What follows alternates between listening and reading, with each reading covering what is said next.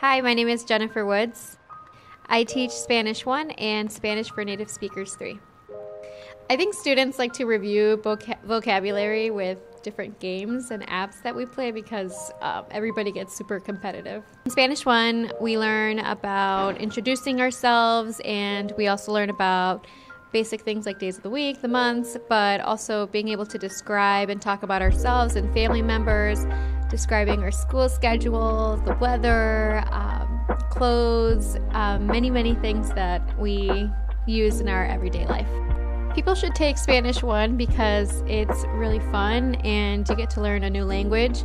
And there's so many benefits to learning a new language, and you get to know a different culture than the one that we're used to.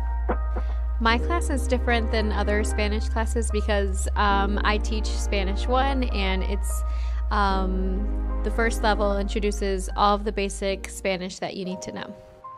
My favorite thing to do in the classroom is like speaking activities because I think it's very impressive when students who have never um, taken a language before are able to communicate in Spanish. I think it's awesome.